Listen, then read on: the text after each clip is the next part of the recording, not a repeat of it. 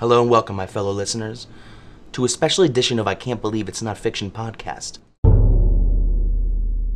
I'm coming to you in real time on a story that's unfolding in a quaint beachside town called Laura Point, Florida. Okay, but what if it was involved in something big? Like, what if what if somebody killed someone with it, and then all these people come tomorrow. I got a clean shot to make you a mess.